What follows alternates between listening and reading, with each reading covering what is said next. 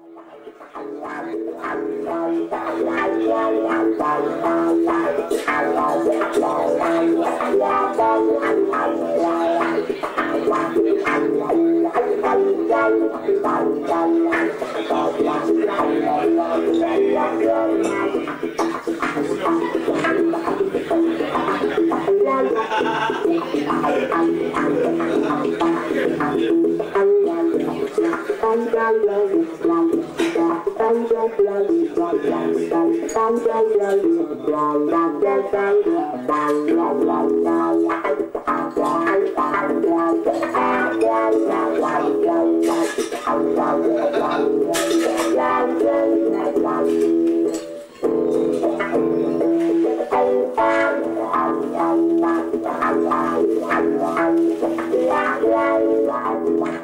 Los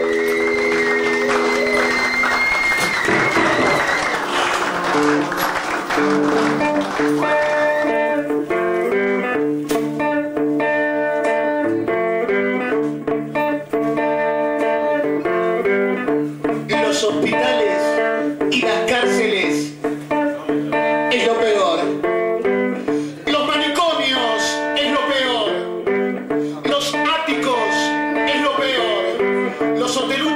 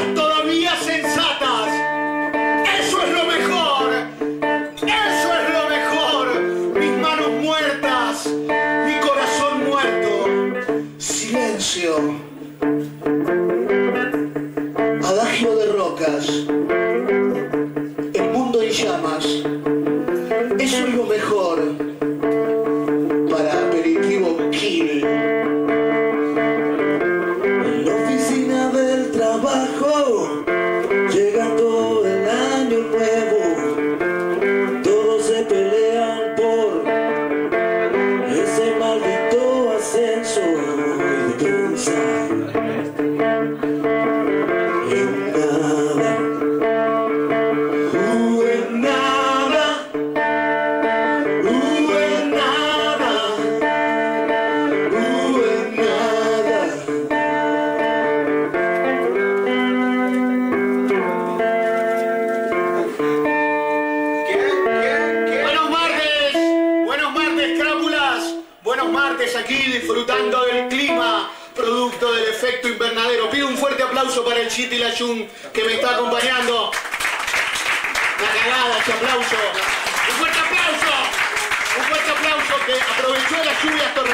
para lavarse el pelo y afeitarse la barba.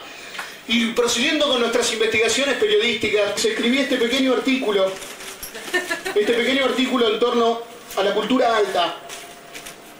La cultura, la cultura alta. Para la gente de la derechona, la cultura tiene que ser una cosa muerta. La música clásica, el ballet clásico, el concierto sinfónico, la música folclórica, el salón literario, las grandes poesías y los grandes poemas aceptados por toda la humanidad. Tiene que ser el aburrimiento, lo que no tenga ningún tipo de agresión ni mueva el piso, ninguna grosería, ninguna guarangada que tenga sexo, ni nada que tenga que ver con el sexo, a menos que el sexo ya esté muerto y no cree ningún problema. Por ejemplo, la maja desnuda. La maja desnuda es una mujer que pintó goza con todas las de la ley. No es un desnudo de Picasso que puede tener el culo a un lado, una teta en la cabeza, el coño en la espalda. No, la maja tiene bien claras las tetas, el culo y el coño. Todo está al aire. Y sin embargo, para la cultura de la derechona, ya es cultural. No escandaliza a nadie, no jode. La gente de la derechona cree además que la cultura es el abono al Palacio de los Congresos, donde duermen como hijos de cien mil yeguas putas. Y y como vacas truculentas, crápulas, los he visto. Nadie me lo contó. Duermen como hijos de puta. Menos mal que las butacas tienen felpa, porque si no la cantidad de conmociones cerebrales que hubiera habido de la pseudo burguesía coruñesa. No bien terminan de escuchar la obertura de la ópera, ya se cayeron dormidos sobre esos palcos, tirándose unos pedos, cuyo nauseabundo olor apenas si puede contener los hectolitros de perfume francés que se ponen en los sobacos y en las verijas yo los he visto, crápulas. Después del palacio, del palacio de los congresos, van hasta la penela, que es donde yo como todas las noches, con el peinado de Longueras o de Rupert aplastado, el moño de Quina Fernández incrustado en la puerta del culo, la bisutería corrida y dando más bostezos que con un ataque de hígado. Llegan y dicen, ¡buah! Me comí cinco horas de sinfrío de Wagner. Poneme una laconada con un buen albariño.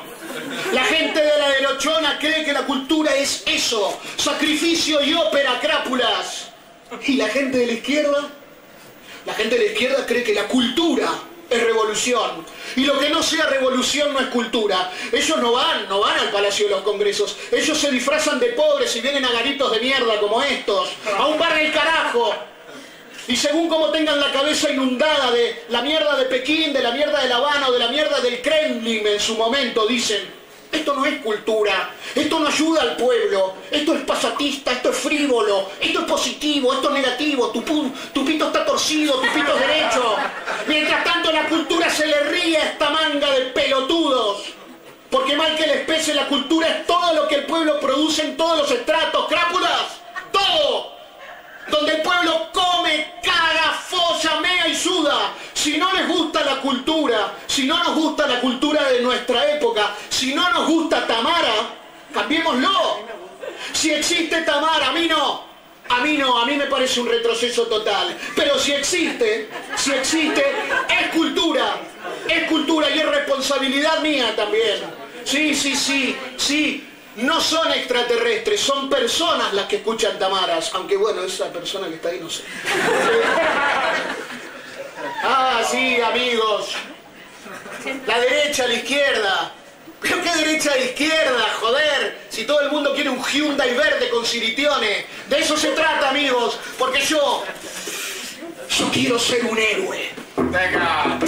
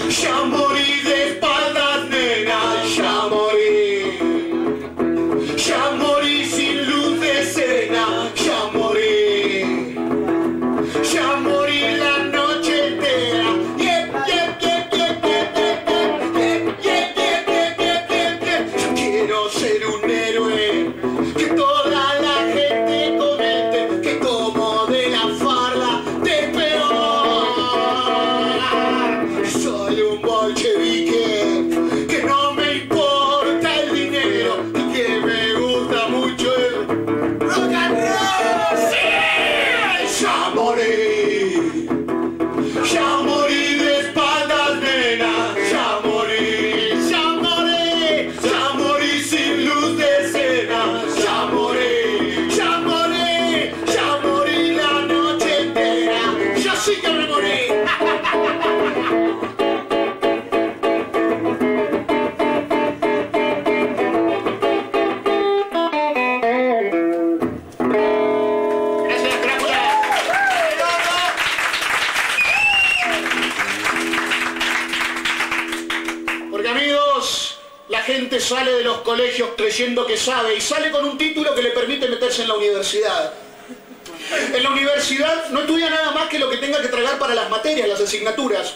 Lógico, la especialización, pero por ahí se mete en ingeniería, abogacía, biología, medicina, cualquiera de las ramas de la medicina. En fin, la cuestión es que la gente que eligió esas carreras desde aquellas mierdas que recibió en el secundario, aquí al menos tienen la decencia de ponerle un nombre como es debido. Eso.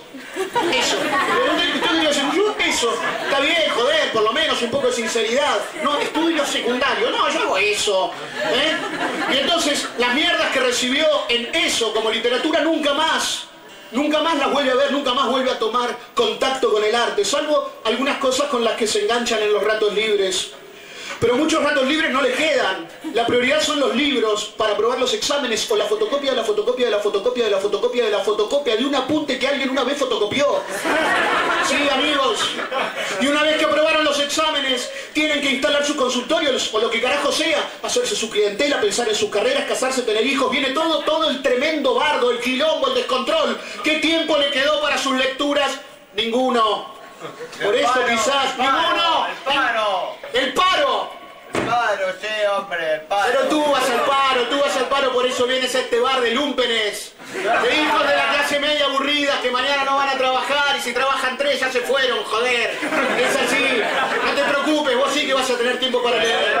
Pero después cuando son abogados, doctoras, notarias, odontólogos, los grandes señores van a creer que pueden hablar de todo porque son universitarios. Cultura terciaria, que le dicen, tiene cultura terciaria o cultura general precioso y no saben un carajo de nada. Porque ¿qué leyeron después cuando les dejó tiempo el examen y cuando les dejó tiempo libre el consultorio? Leen un bestseller, El Capitán a la Triste, para descansar esa cabeza y lo leen en plenas vacaciones entre el viento, el sucundung y el frío del mar. Shalala, shalala, el sol en la playa, shalala. Sí, sí, en medio de todo ese desbarajuste, Borja, corazón, que te lo he dicho tienes y tienes de veces. Sí, así, en medio de ese delirio, entre los pelotazos de los niños y el Cuidado con los chicos, ¿qué leen? Un bestseller para descansar la cabeza, como El pájaro canta hasta que se caga, y esas huevadas, Harold Robbins, Sidney Sheldon, lo que lee el medio pelo argentino también, amigos.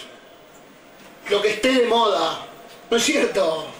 Literatura de mierda, pero así de grande. Así de grande, eso es importante, que el volumen sea grueso y bien encuadernado. Los hombres completarán su maravillosa educación con periódicos financieros, ámbito financiero, por medio del cual se enteran a quién puede cagar con la especulación la semana que viene. Y las señoras completan su educación de buen gusto, ¿eh? sostificada, leyendo la revista Hola, para saber dónde pueden ponerse el moño este año, si en la puerta del culo o en el tobillo.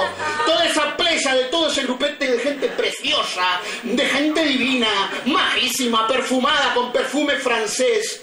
Habla después sobre el arte. Y hablar puede hablar cualquiera, incluso yo, ¿por qué no? Pero no hablan solamente. Cuantas más joyas tienen encima y cuantos más estudiados y más doctores sean, califican. Y no solamente califican, sino que prohíben. Sí, porque toda esa gente es la que después forma comisiones de censura, comisiones de esto, comisiones de lo otro. No le hicieron un carajo de nada, no tienen ni la más puta idea y después no solo hablan de arte, sino que deciden dónde se expone y qué se expone. Y si tenemos que cerrar una actuación a las 12 o no cerrarla. ¿Qué mierda saben? Hay Aristófanes, que ni siquiera el Centro Dramático Gallego pudo acabar contigo. Gran Aristófanes, desde el cosmos tírate un pedo, un gran pedo que sumerja a toda esta gente, que sumerja a toda esa gente como lo logró hacer el doctor, el doctor Hans von Flugen, que a mediados de la década del 40 introdujo pequeñas partículas de burbujas en el interior de unos jabones. Y así nacieron los famosos.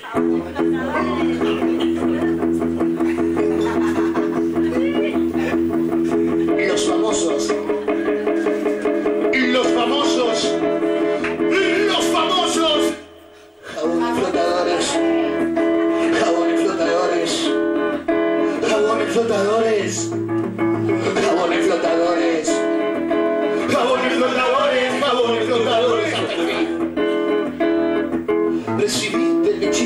mensaje de amor. Venía introducido en un jabón flotador Pasamos todo el tiempo en el Water Club Jabones de locura, jabones del amor. Por eso la farmacia la mandé a comprar.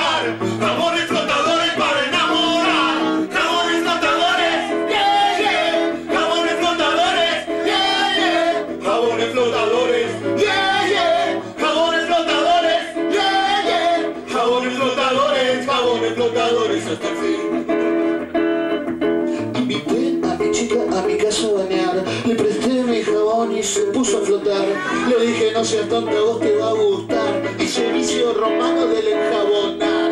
Por eso a la farmacia la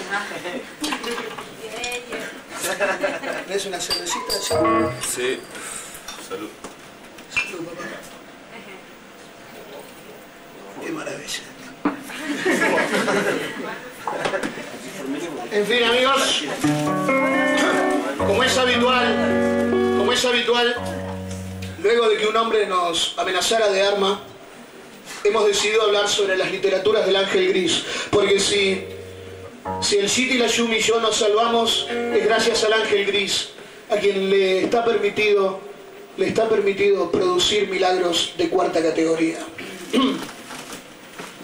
Por eso, la creencia en lo sobrenatural termina siempre abolida por las gestas racionalistas.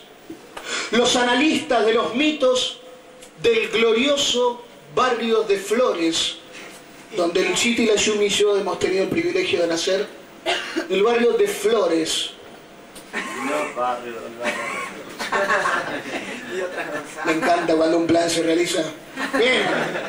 Los analistas de los mitos de Flores aplican estos criterios para explicar la leyenda del ángel gris. Es posible que los vecinos hayan creído alguna vez en la existencia cierta de este arrabalero ángel celestial.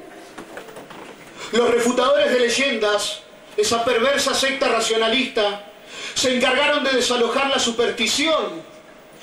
Y nosotros, el Chiti, la Yumi y yo, recibimos cierta literatura incompleta del barrio que insistió en creer en el ángel a pesar de todo. Siguiendo con las historias, las literaturas del ángel gris en el barrio de Flores, quisiera mencionar desde este lugar tan sagrado al que acude tanta gente y hace fuerza el más cobarde y se cae al más valiente, quiero mencionar, queridos crápulas, a Rubén Dileo, centro delantero del club Empalme San Vicente. No era literato, pero escribió un extenso volumen titulado Mis mejores jugadas, en el que relata con estilo insufrible más de 1500 acciones futbolísticas en las que aparece como protagonista único. Una de ellas tiene cierto interés para todos nosotros, la jugada 304. Bingo. ¿Me gané algo? Pase por caja más tarde. Ya sabes que me entro la primera, ya sabes que me haces tanto la jugada 304. Perrone pateó el córner desde la izquierda. Perdíamos 1 a 0 y faltaban dos minutos. El tiro le salió demasiado alto. Yo estaba en el área, pero ni pensé en saltar. De pronto sentí que unas manos ardientes me tomaban de la cintura y me elevaban por el aire. Así alcancé una altura fenomenal, casi un metro por encima de los defensores. Misteriosamente mi cabeza chocó con la pelota. Las manos me soltaron y caí despatarrado. Me pareció escuchar el rumor de unas alas, pero fue mucho más fuerte el grito de gol de la tribuna. En ese día, cuando hay un córner, trato de patearlo yo. Ah. Vamos a leer las noticias de la cultura, porque a me, hace- me gusta mucho esto de la cultura. La ciudad de la cultura. Esto, es, esto es- son los ideales del fascismo. Los grandes nombres, ¿no? El discurso sentimental. La ciudad de la cultura os vais a cagar. Os- Vamos a poner la hostia. Váteres con antenas. No veis ni su puta madre. Es así porque quedan a tomar por el culo cachete izquierdo donde, donde la lora echa la pluma en el final del labio izquierdo del coño. Ahí van a poner. Y seguramente terminará llamando Frager y Barney la momia. La momia. De- dirigirá los destinos de la cultura. La cultura, ¿no es cierto? Y pero no pueden hacer un skate park. No, no, pero verá, no, no. A mí me la suda, ¿eh? A mí no. A mí, a mí me la suda porque la verdad que me da un poco de pena. Se van a matar, muchachos. ¿Qué hacen? Claro, ustedes dirán, y vos, boludo, te puedes quedar desde un váter haciendo... Vale, de acuerdo con eso. Pero, por ejemplo, deportes cubiertos y no como pádel. Pádel como, como Aznar. ¿Cómo un presidente se puede, cómo un presidente se puede llamar Aznar? Es muy fuerte. Y yo, de verdad, hay cosas que me flipan. El hombre más rico de España, ¿cómo se llama? Botín. Sí, sí, es. Bueno, no importa, no voy a encontrar más similitudes, pero un skatepark, deporte cubierto, Ahí, ahí. sano, ¿eh? la gente hace sus cositas. ¿Por qué no? ¡No! Ah, skatepark no. Lo prometieron. Ahora, Lo, ah, lo prometieron, lo. Ya íbamos, vayamos a estar conectados con Madrid. Lo prometieron. También les prometí a Hitler con un cartel de Nauwich, el trabajo será libre, decía.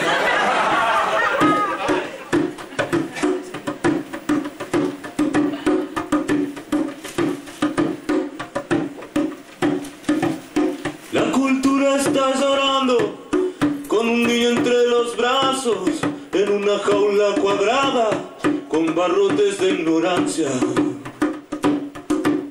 Sus ojos son dos pantallas televisando su drama con señales de basura que vienen de otra cultura. De día sale condicional, de noche vuelve a su lugar, se la ve sola, sola, sola, entre sus libros tachados. Películas cortadas, sus canciones olvidadas y sus teatros incendiados. Ay, ay, ay, ay, que la historia sigue, pero la vida muy poco dura. Cuando los hombres se sientan libres, será más libre nuestra cultura.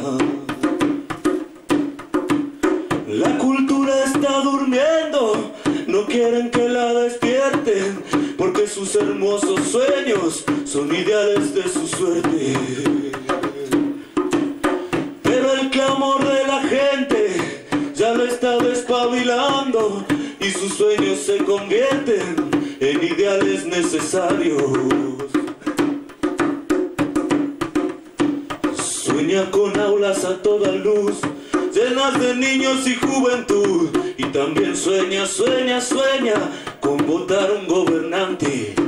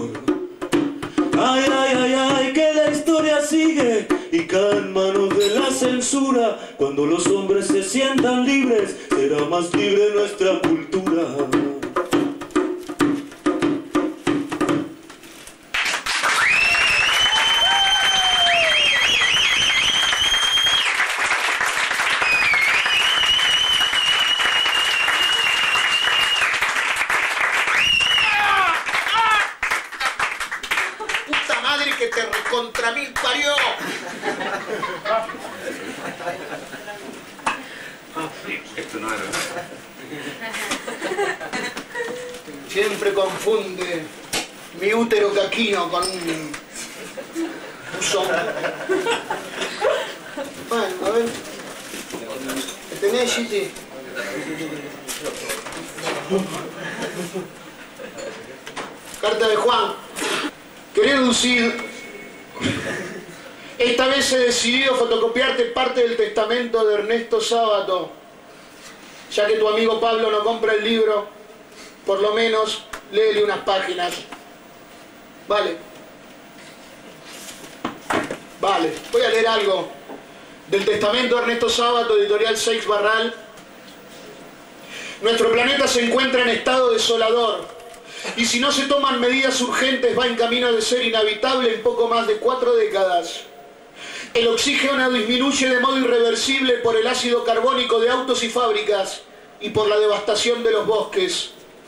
El hombre necesita de los árboles para vivir. Parecen no saberlo, no importarles a quienes están talando las selvas del Amazonas y las grandes reservas del mundo. Los países desarrollados producen 400 millones de toneladas por año de residuos tóxicos, arsénico, cianuro, mercurio y derivados del cloro que desembocan en las aguas de los ríos y los mares, afectando no solo a los peces, sino también a quienes se alimentan de ellos. Solo unos pocos gramos de intoxicación son mortales para el ser humano. Corremos el riesgo de consumir vegetales rociados con plaguicidas que dañan el hígado y a los riñones y producen desórdenes sanguíneos, leucemia, tiroidismo. Afectan también al sistema nervioso central y a los ojos. Otro peligro para tener en cuenta es el riesgo que suponen los productos radioactivos. Su almacenamiento sigue constituyendo un inestimable agente de control. Los países más desvalidos como la India o se proclaman orgullosamente como nueva potencia nuclear o corren el riesgo de ser vendidos como basureros atómicos. Nada queda por ser respetado. A pesar de las atrocidades ya a la vista, el hombre avanza perforando los últimos intersticios donde se genera la vida. Con grandes titulares se nos informa de que la clonación es ya un éxito. Y nosotros, todos los hombres del planeta que no queremos esta profanación última de la naturaleza, ¿qué podemos hacer frente a la inmoralidad de quienes nos someten? La humanidad ha recibido una naturaleza donde cada elemento es único y diferente. Únicas y diferentes son todas las nubes que hemos contemplado en la vida. Las manos de los hombres y la forma y el tamaño de las hojas, los ríos, los vientos y los animales. Ningún animal fue idéntico a otro. Todo hombre fue misteriosamente sagrado y único.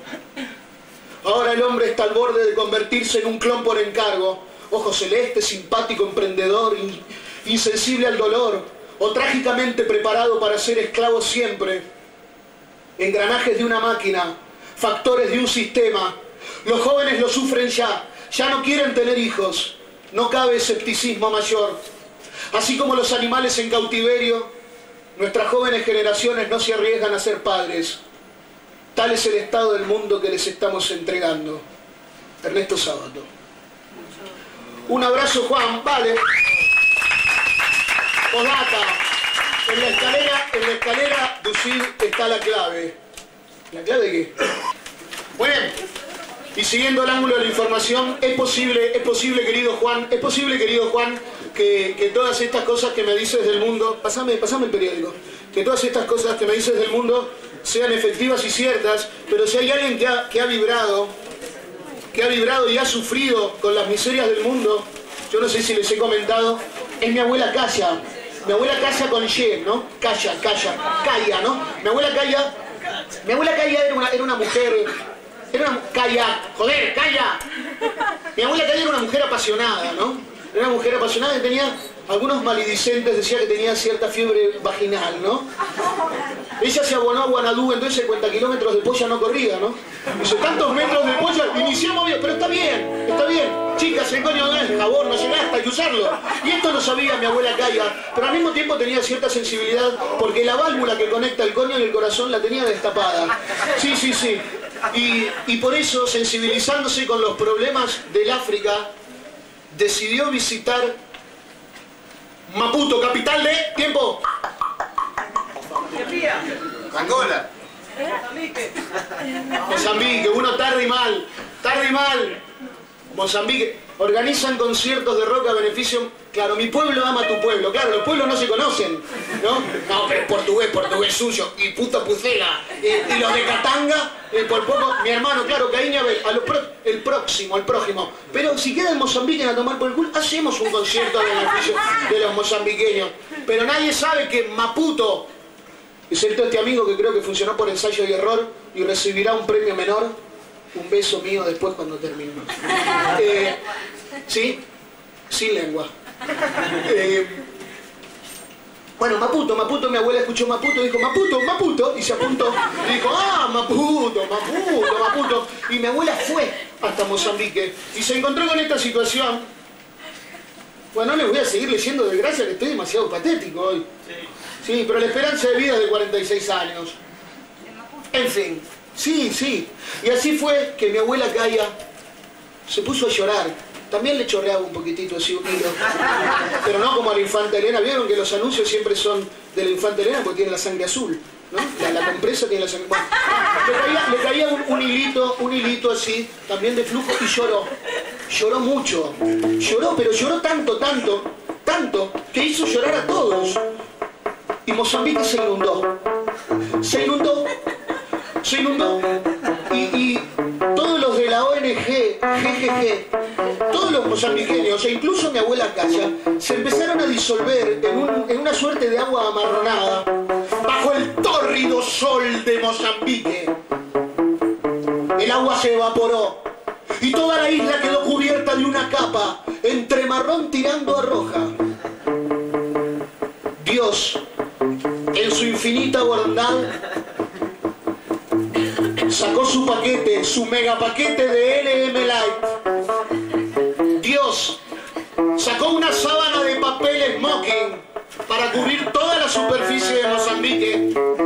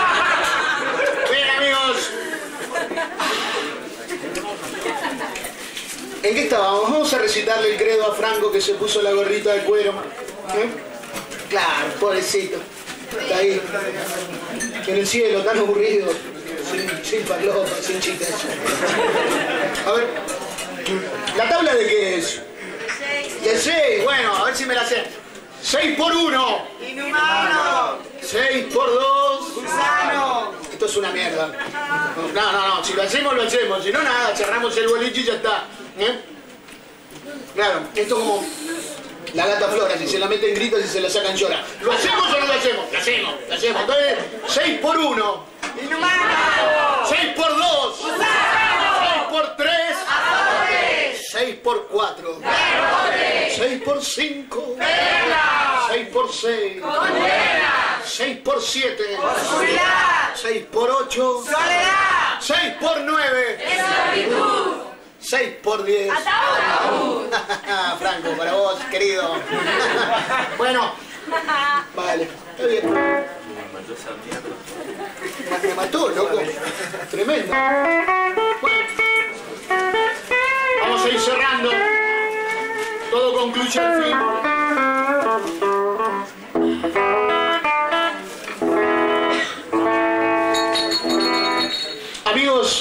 En nuestro poder muchísimos escritos, muchísimos escritos sobre el ángel gris.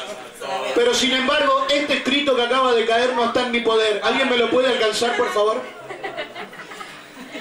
Gracias. Dale, soy creativo, pero no me lo sé todo de memoria. Ah, sí, muy bien. Sí. Nito D'Alessio, literato aficionado de Monte Alto, extraña zona periférica del barrio de Flores. Algunos dicen que no es parte del barrio de Flores, yo sostengo que sí. Fue empleado municipal, como lo permiten colegir sus manuscritos, siempre estampados en el revés de los formularios del Ayuntamiento de La Coruña de Sir Francis Vázquez. Vamos a leer un pequeño texto. La calle del bien y del mal.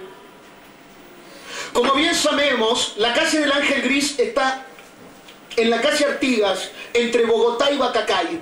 Sucede así algo muy particular. En una de las aceras es posible ser bueno. En la otra es imposible ser malo. Una noche pasé con una muchacha rubia por la vereda oeste, por la acera oeste. La rinconé en un umbral oscuro, la besé con pasión y logré poseerla allí mismo. Después cruzamos la calle y mientras caminábamos por la acera oriental, le pedí que me olvidara y la abandoné para siempre. En la calle del Ángel Gris hay dos aceras. En una es posible ser bueno. En la otra no se puede ser malo. Todavía no tengo decidido cuál es cuál.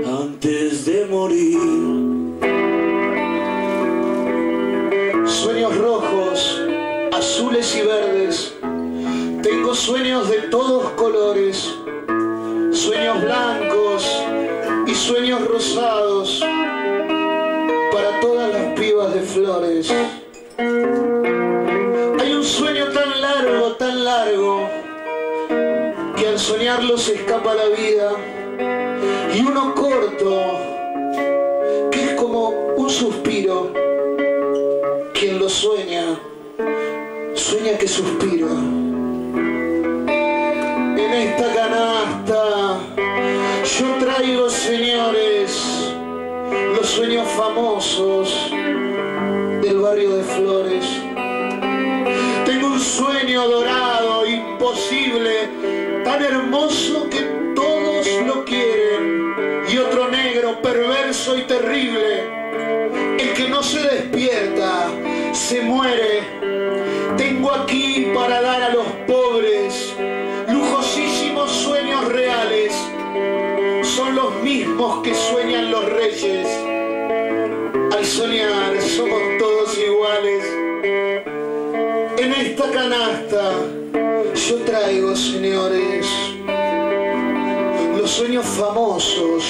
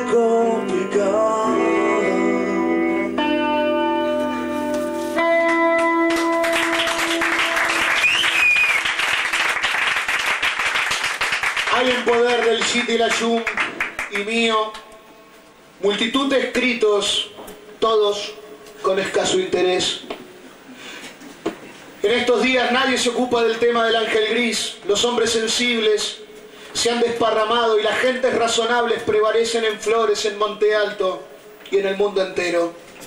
Tal vez el propio ángel gris, allá en los desolados campanarios, cantará esta vieja copla que convida a dudar.